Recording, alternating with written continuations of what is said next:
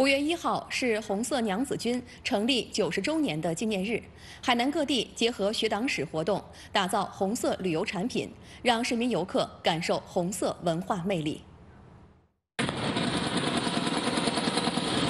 五一期间，三亚红色娘子军演艺公园每晚都会上演实景演出《红色娘子军》，吸引了不少市民游客观看。该剧目运用裸眼 3D、全息激光投影等技术，带观众重温那段峥嵘岁月。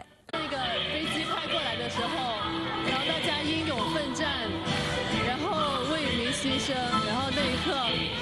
到最后一刻，然后感觉特别的感动。我们通过两千四百个可移动的观众坐席，以及呢五十亩的山景，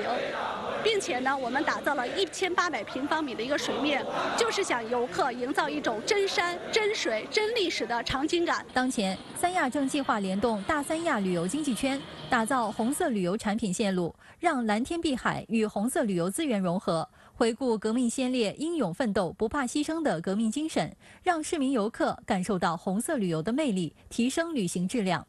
经过这几年的这么一个不停的这么一个打造、宣传和推广，啊，我们海南二十三年红旗不倒，啊，这么一个主题，啊，逐渐呢也是成为我们旅游市场一个颇受欢迎的这么一个红色旅游产品。琼海市在红色娘子军的诞生地阳江镇举行了纪念红色娘子军成立九十周年慰问演出活动，以红色娘子军为主题的节目轮番上演，精彩的表演，熟悉的旋律。激励着在场的每一个人，